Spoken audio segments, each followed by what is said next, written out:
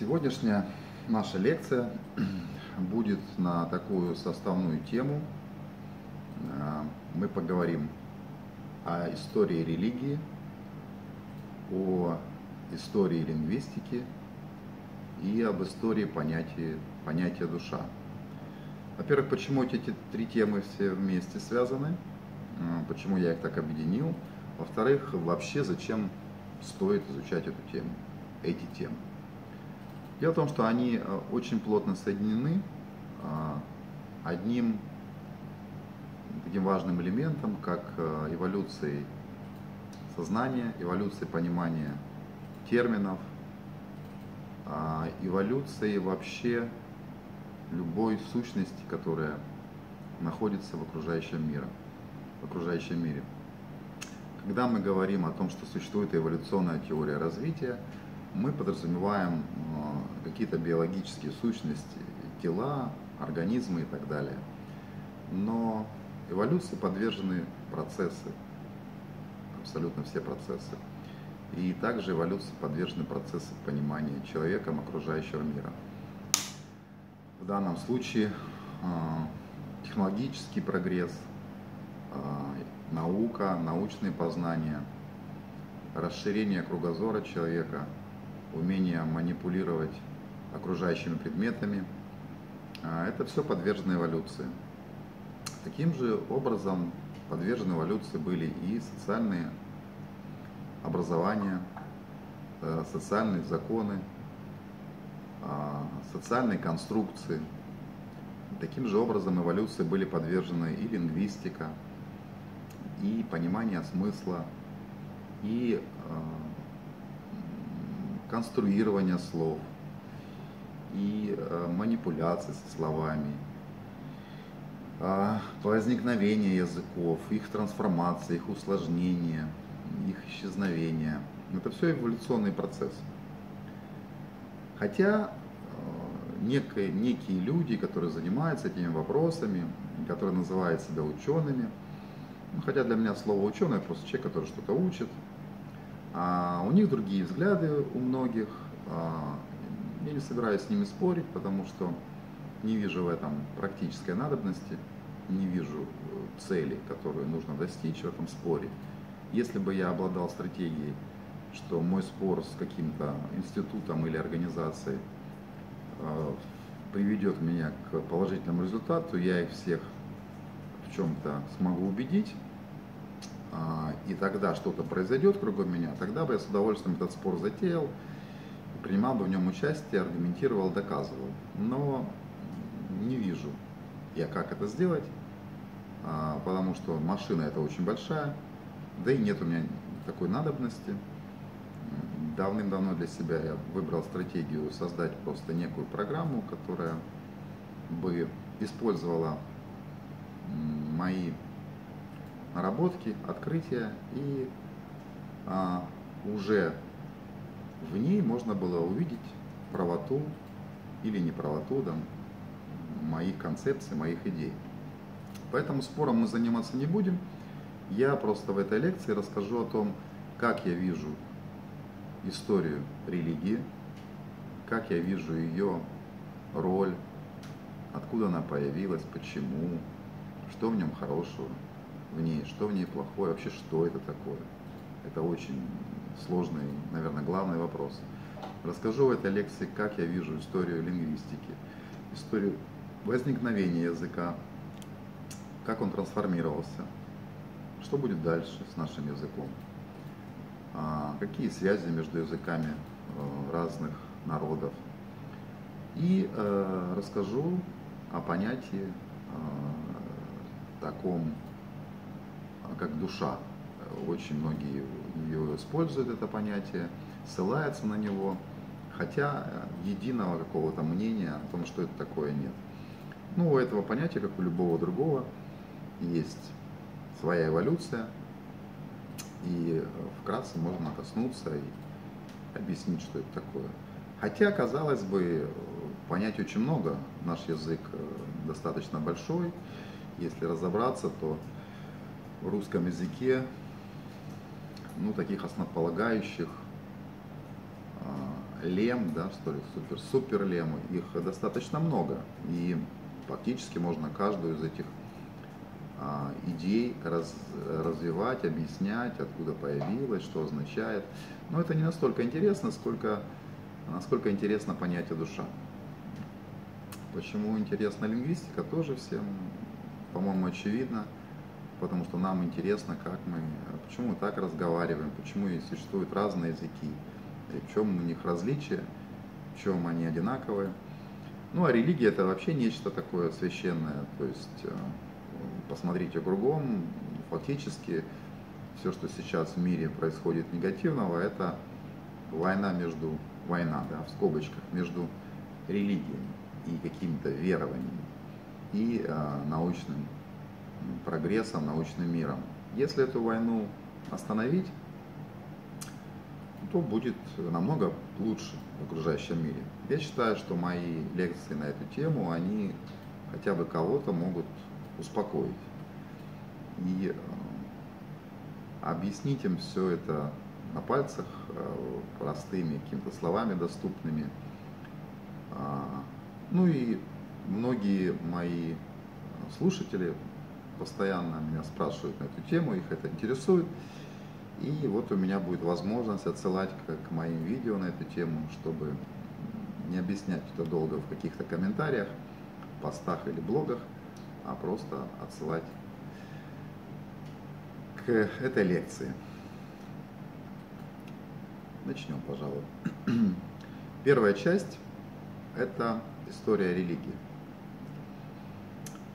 Вообще нужно понимать, что такое история.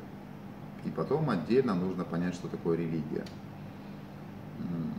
Я в своей лекции э, в первом, на первом семинаре, который я проводил, который касался еды и его воздействия на тело, в первый день моей лекции, моего семинара касался истории религии и о том, как тема еды вышла из религиозной составляющей, как она связана с религией, как она связана с христианством, а, ну вообще, в общем, с, любой религией.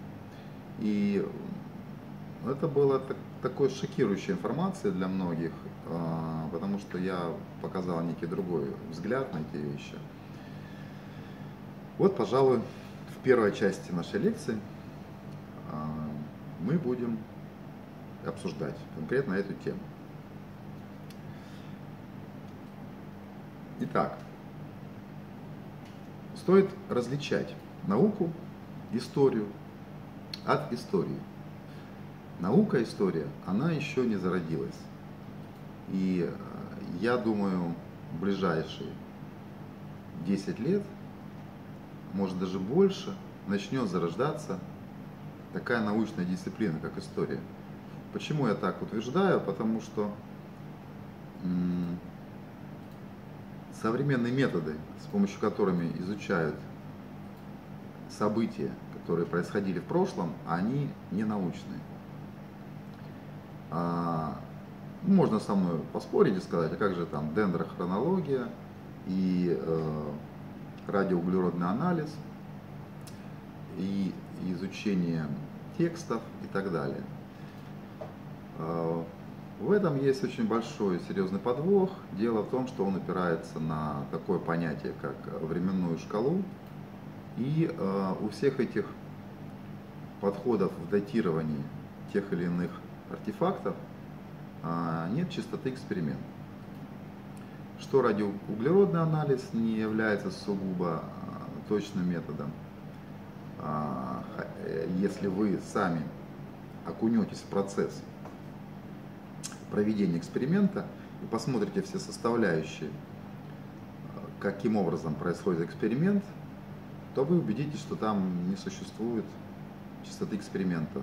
Повторить его а, с получением тех же результатов или сделать анализ, не прибегая к каким-то изначально допущениям, невозможно. Поэтому существует очень много фактов, что разные лаборатории давали совершенно разный анализ по углеродному методу датирования одних и тех же образцов. А дендрохронология это вообще нечто такое субъективное, имеющее какую-то шкалу, по которой все меряют. То есть такого вот очевидного, четкого и понятного подтверждения, какому году отнести тот или иной образец, его не существует.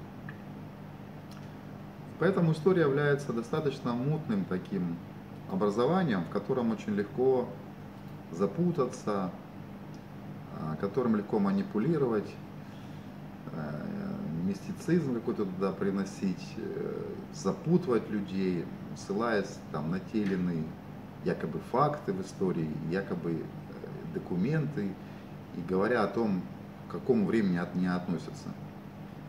А, я думаю, что очень много будет споров еще по поводу правдивости или а, неправдивости тех или иных исторических документов и так далее.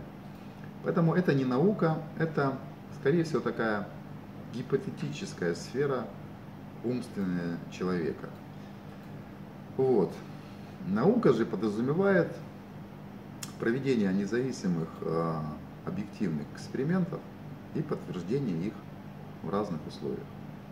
А, что с историей сделать невозможно.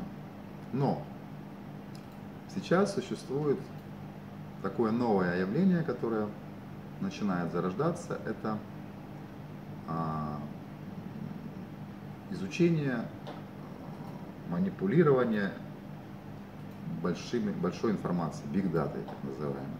И даже есть уже ученые, которые называются big data scientist.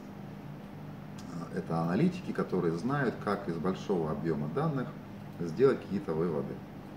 И э, существуют уже даже э, специальные программные комплексы, которые э, позволяют делать этот анализ.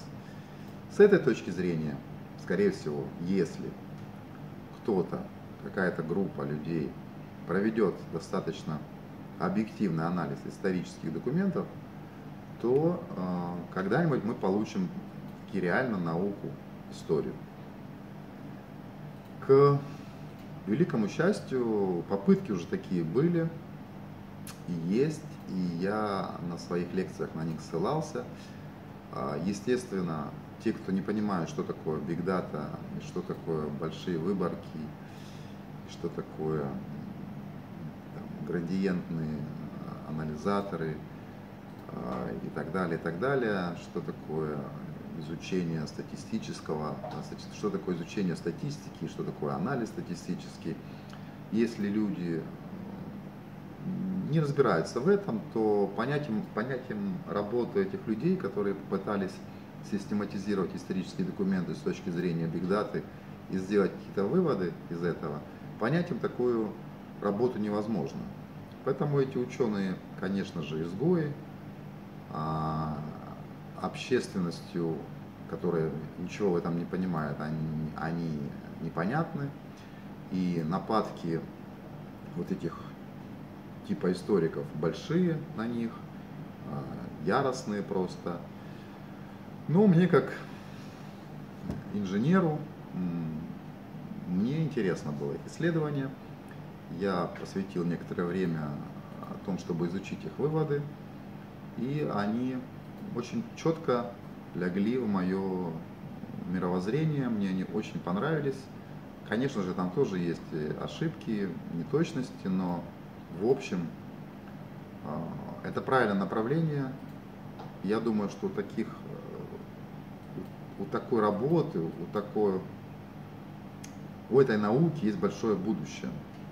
Да, я говорю о новой хронологии Фоменко и Носовского. А, не буду ее объяснять, э, что это такое. Вкратце только расскажу. Если хотите действительно изучить, то есть масса книг э, этих авторов, которые дотошно, с выводами показывают, рассказывают, какой у них есть новый взгляд на хронологию. А вот уже получив научно подтвержденную хронологическую последовательность а, неких событий из прошлого, которые зафиксированы в неких артефактах, уже тогда можно попытаться из истории сделать науку. До этого момента это просто билетристика, не знаю, журналистика, блогерство, ну не больше. То есть любого традиционного историка можно считать просто блогером, который как-то по-своему интерпретирует какие-то факты.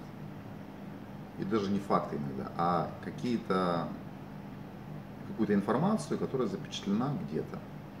Вот так скажем, надо аккуратно относиться к терминам, когда касаемся а, вот этой темы. Что они сделали? Это группа ученых, это русские ученые в МГУ, Хоменко, Носовский. Они проштудировали всю доступную письменную информацию, сделали анализ ее на он очень большой, обширный, на даты, на схожести, на схожести повествования, на... Ну, в общем, они применили большой очень спектр статистического анализа и пришли к выводу к тому, что наша история, она достаточно короткая, то есть письменность современного человека, она насчитывает порядка 900 лет, а может даже чуть меньше, ну, в общем-то, до тысячи лет.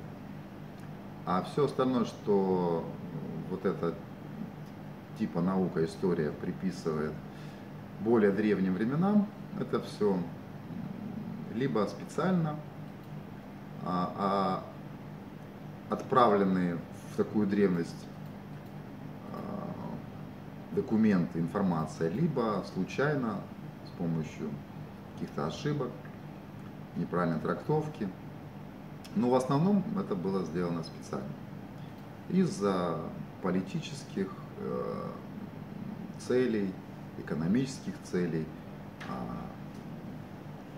не знаю, даже каких-то, не знаю, юридических целей.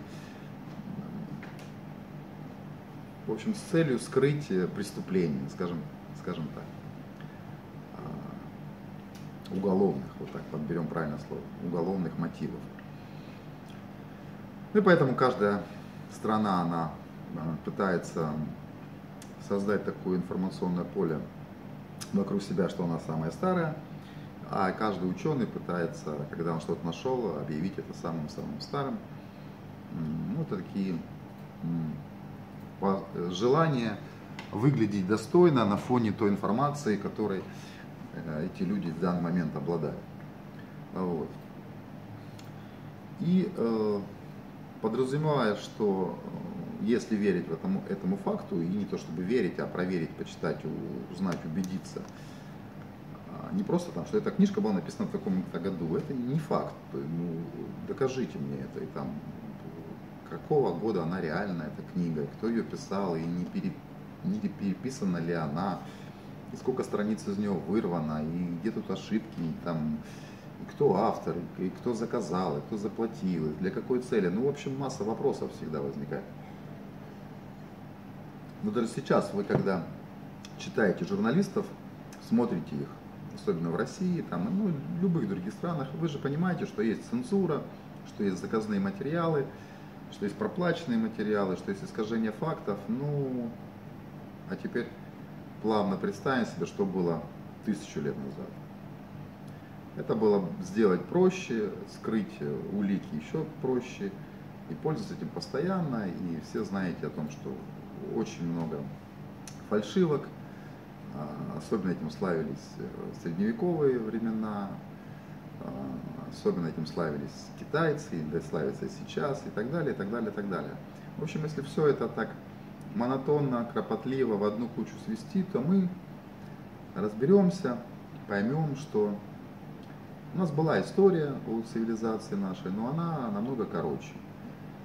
И это приводит к одному единственному интересному выводу, вот, который меня поразил из всего этого, что развитие цивилизации шло плавно э, по экспоненте, никаких там провалов не было, не было никаких забываний культуры, каких-то откатываний назад, не было каких-то непонятных открытий пороха, там, колеса, еще чего-то, железа, без открытий компонентов, которые нужны для их изготовления. Эти парадоксы, они всех заставляют очень серьезно почесать репу.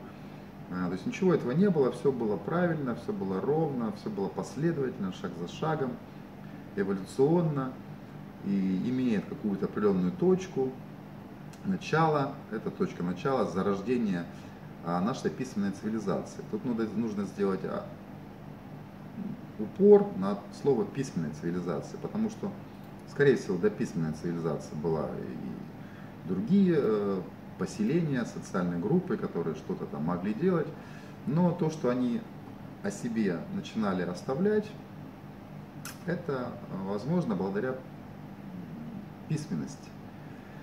Поэтому начало письменности – это самый интересный момент, который, благодаря которому, благодаря возникновению которого мы можем изучать а, то, что происходило в древние времена.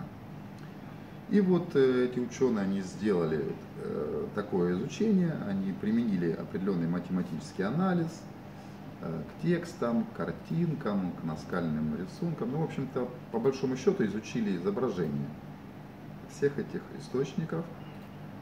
А, там важную роль играла датировка, хронология, они изучали гороскопы, а, те способы, которым в старые времена датировали, обозначали э, дату написания этого документа. Это были начертания звездного неба на тот момент, когда что-то происходило. И они из всего этого сделали такой вывод, о котором я уже сказал.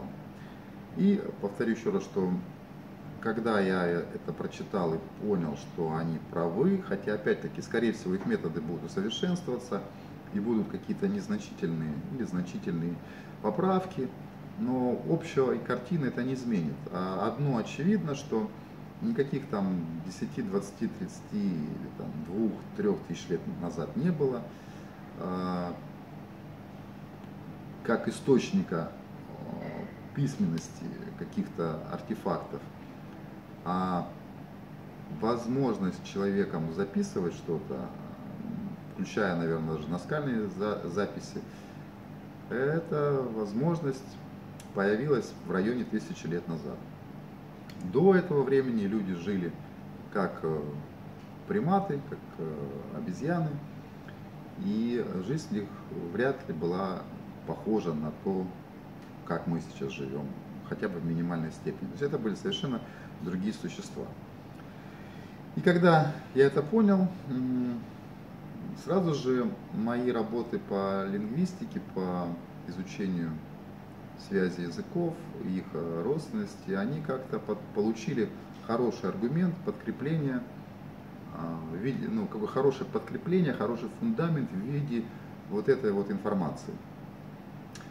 Я понял, что раз так, то мои все изыскания, они а, абсолютно правильные в точку, а заключается не в том, что эволюция – а, была присуща и языку, и как человеческому телу она присуща, и как окружающей нам биологической а, биосфере, то есть биологическим видам, так она присуща и тем действиям, которые человек совершает, и тем способом манипуляции с окружающим миром, который он совершает. Мы это видим на наших глазах, развиваются технологии, придумываются новые предметы, новые технологии, новые способы там, создания каких-то предметов. То есть мы эволюционируем, да, и биологические исследования показывают, что тело человека еще там 500 лет назад, 600, оно было другим. Вот. И стало очевидно, что эволюция языка присутствовала, и когда-то он был очень простой, примитивный, и дошел до того, каким он стал сейчас. И стало очевидно, что и социальные устои, они тоже а, эволюционировали. И тут мы плавно переходим к теме а, религии и ее эволюции. Я попытался, когда я изучал влияние э, еды на человека, попытался понять, э, почему так сильно в первичных источниках религиозных такой сильный упор идет на еду, на питание, на способы манипуляции с едой, на правила манипуляции с едой, на законы, которые как-то ограждают человека, запрещают что-то или наоборот позволяют. И э, пришел к такому выводу, что э, все это плавно очень вписывается в такую концепцию, что э, люди начали собираться в сообщество и размножаться активно, и жить друг с другом только когда между ними начали появляться какие-то договоренности о нормальном сожительстве без нанесения вреда друг другу. Э, мы знаем, что жизнь, такая цивилизация зародилась в Месопотамии, это в районе, ну, в общем-то, в Африке, да, таком оазисе, который раньше был намного а, при, при, пригоднее к жизни, чем сейчас. Вследствие того, что климат изменился, э, людям нужно было возделывать свой урожай, возделывать земли, и они постепенно начали сообща каким-то образом группироваться и добывать себе еду. И э, очевидно, что в определенном месте, при определенных условиях какая-то группа людей, она стала более развитой, чем другие племена.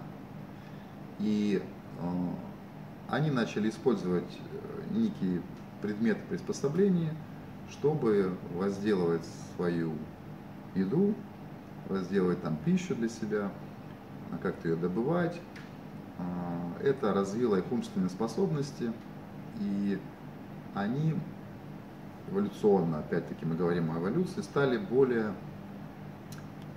а, умно относиться к предметам вокруг себя, и стали из них моделировать всякие приспособления, включая орудия труда, включая э, военное орудие, включая какие-то приспособления для отпугивания врагов, для убийства врагов и так далее.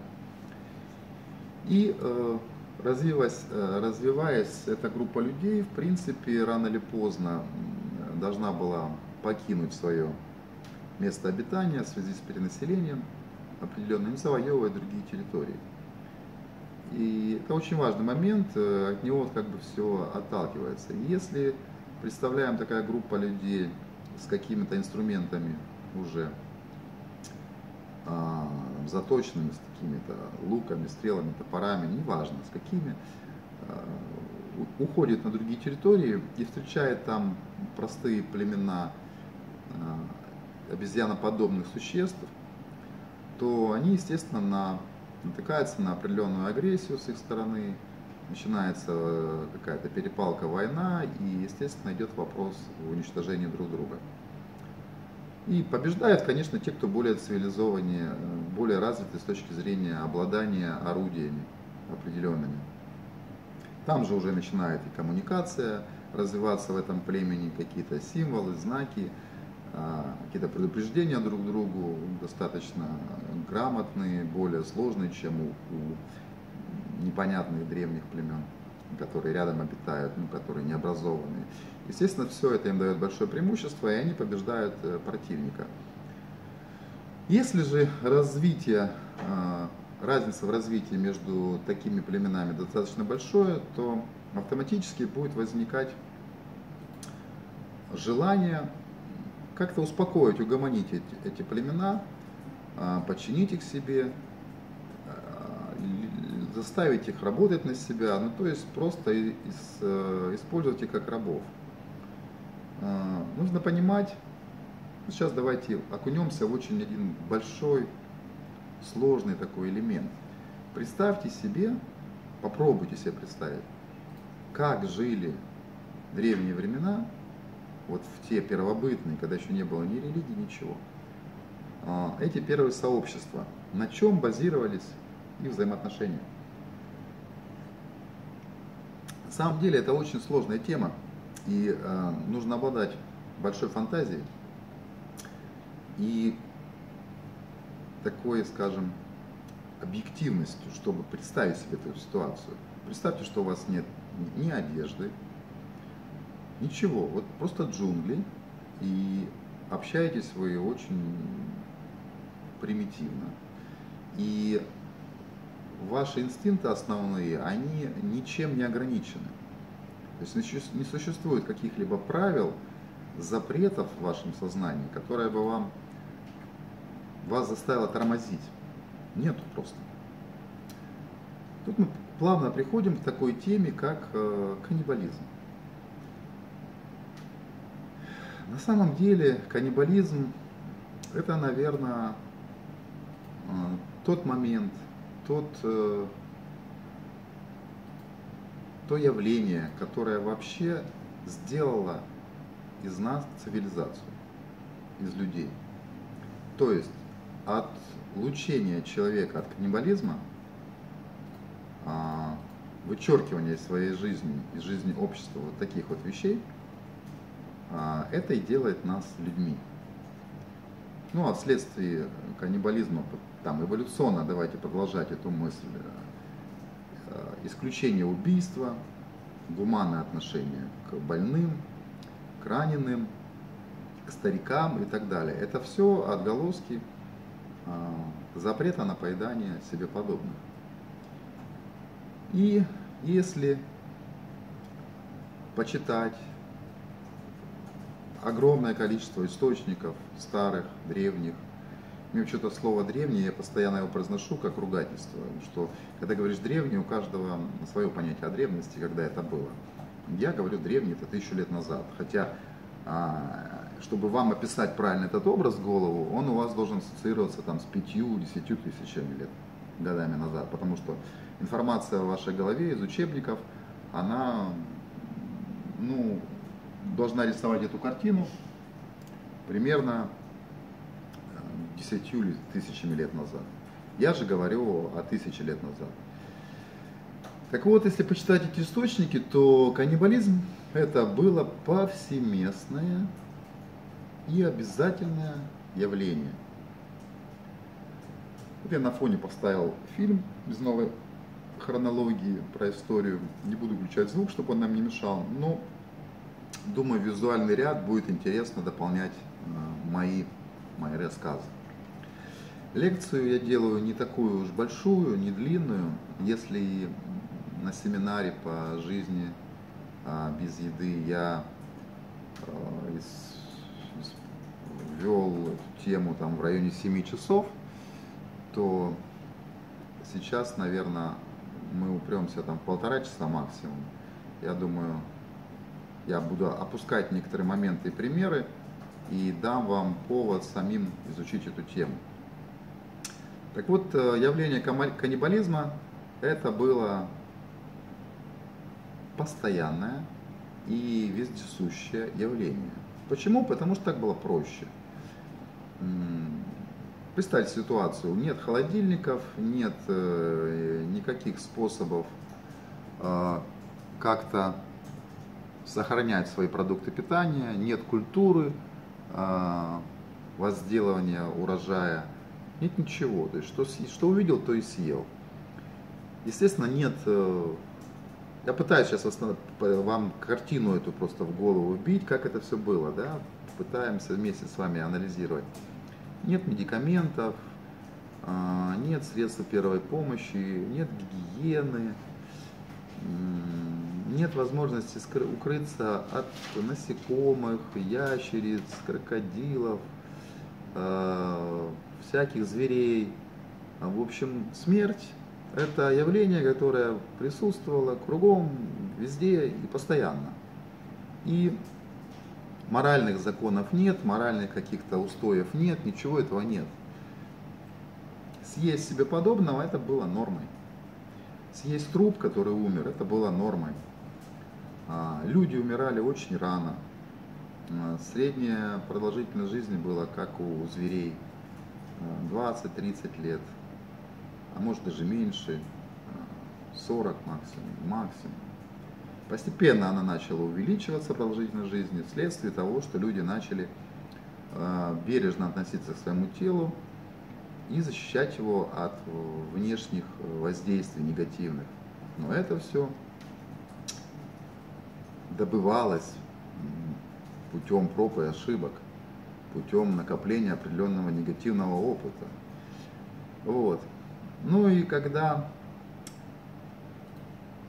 некая группа людей с более развитой технологией приходила на территорию вот этих вот э, племен с э, культурой каннибализма, естественно, у этих племен было желание их съесть и э, ну, использовать обычный свой образ жизни, не, особо не парясь.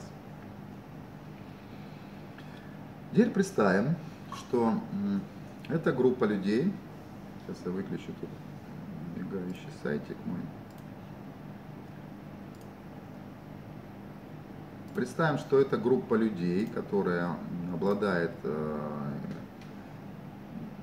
неким технологическим преимуществом, уже достаточно развилась, и они научились строить а, кое-как, или и у них есть оружие труда, и у них есть одежды, и у них есть орудия войны, достаточно серьезные. Естественно, раз это все существует, у них есть некие наборы правил а, сосуществования друг с другом. И есть некие люди, которые следят за тем, чтобы эти правила соблюдались. Это я говорю а, о первых зачатках а, такого социального управления в группе людей. Вот у меня первый тезис, который можно высказать, это убрав слепое желание убивать друг друга, можно контролировать размножение, гарантировать себе сохранность и управлять территорией. Это создает мораль и право. Когда такая группа людей приходит на территорию неандертальцев, условно говоря, живущих в пещерах либо в гнездах, то простое желание с теми вот моральными правилами просто их э, подчинить себе. И второй тезис, который я бы хотел сказать, это внедрив технократическую еду, можно привязать людей к территории, крепости. Если вы приходите на территорию, которая вам нравится, вы начинаете там обустраиваться, что-то там строить, если вы умеете это строить. Естественно, вокруг э, чужеродные поселения, а, или даже не поселения, а просто тропы, где бегают эти непонятные э, полуживотные, полулюди, они на вас нападают, вы пытаетесь либо их убить, либо подчинить. Починить вы их можете одним единственным способом, таким же точно, каким вы подчиняете животных в своем доме. Это кормежкой. Сейчас я делаю паузу. И более умные ребята из вас начинают тут же достраивать логическую цепочку, куда я веду, к чему.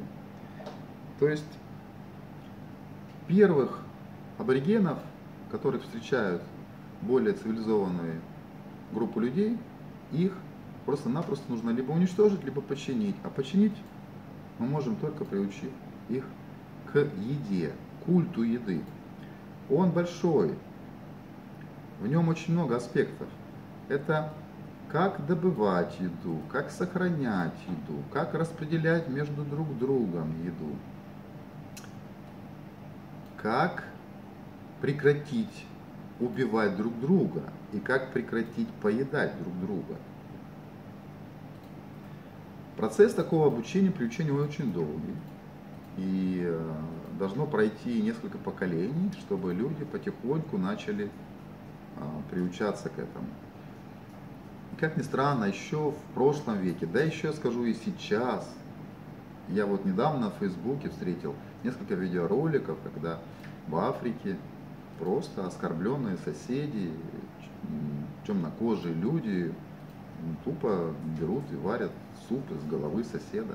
Спокойно его поедают, и прямо есть видео, где его берут с поличным, а он даже не сопротивляется. Хотя при этом он одет нормально, у него там дом нормальный, и варит он его отнюдь не в лесу, а эту голову, а у себя во дворе.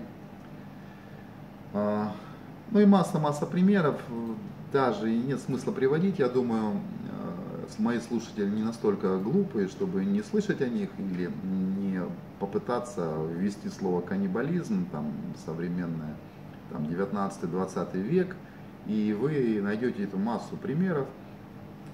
А, поскольку вы сидите сейчас за компьютером, слушаете это все, я даю вам это право. На лекции же я приводил их, читал там всякие выдержки, современные выдержки из путешествий, из рассказов путешественников 17 век, 18 век и так далее, и так далее, и так далее.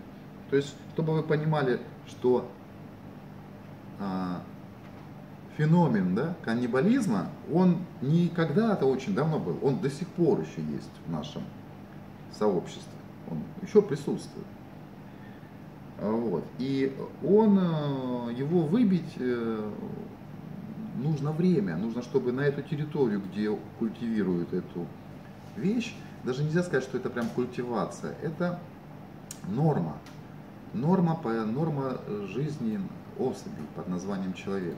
Просто чтобы эту норму выбить, нужно, чтобы на этой территории технологически развитое племя установило свой порядок на достаточно долгое время. Тогда это возможно. Если же там оно проиграет, его уничтожат, и э, его не будет, то эта норма опять восстановится. Вот такие вот походы, завоевание чужих территорий, это то, что мы называем там, конкистой, как его еще слово-то забыл,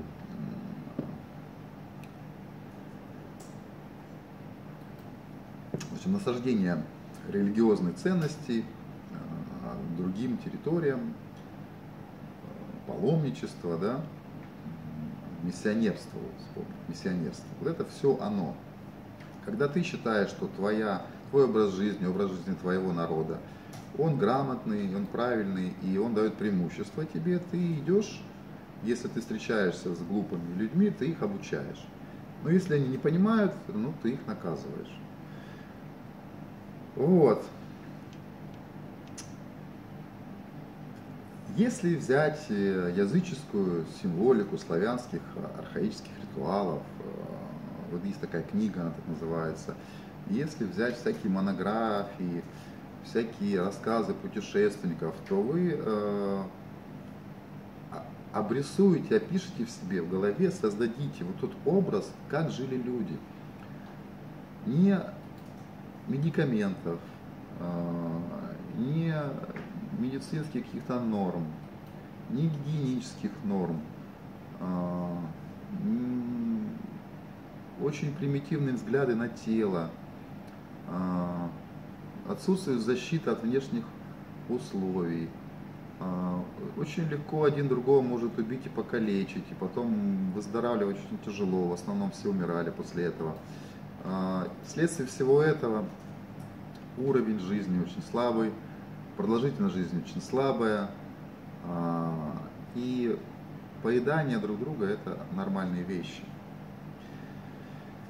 А, вот передо мной есть цитаты каннибализме и, и Геродота, и Цицерона, и Котляревского, и Ноткера, и Целлера, и Рубрука «Путешествие в восточные страны», и Геродота о Падеях, и повесть временных лет содержит документальные данные о том, что ритуальное умершление состарившихся женщин продолжалось еще и после прекращения отправления на тот свет стареющих мужчин.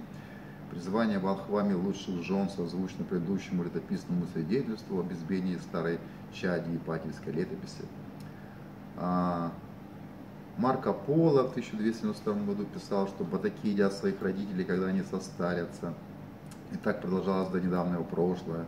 Иногда ели мясо сырым, иногда ели его с лимоном, солью и перцем. Человеческую кровь пили через бамбуковую трубочку. Лучшими кусками считали с ладони и подошвы ног. Замечает сэр Ральф, губернатор Суматры в 18 веке. Ну вот, вот старыми, в старых книжках вот это все просто пестрит. Вот такие изречения и такие повествования, и такие памятки. И вот миссионеры, что они делают? Они начинают приучать человека к другому культу, культу плодородия, собирательства, сохранению еды и отказу от каннибализма. А теперь смотрим, чем же возможно заменить эту его привязанность к легкой добыче еды и вкусной еды, если а, есть мертвое тело или если, оно, если ты его сделаешь мертвым. Вспоминаем нашу христианскую традицию давать тело его и кровь его. А вкуси. Это называется ритуал причастия. Его используют для прихожан а, церкви, для того, чтобы там чему-то приобщиться. Но тут возникает еще один интересный момент. Дело в том, что ритуалы, которые сейчас вы видите в церквях, в любой религии абсолютно, это не те ритуалы, которые были в этих же церквях, вот в те времена далекие. Все эти ритуалы, это при, они изменились, они при, претерпели метаморфозы, потому что, я возвращаюсь к нашей теме, эволюция существует у всего кругом, так же, как и у биологических видов, она существует и у социальных законов –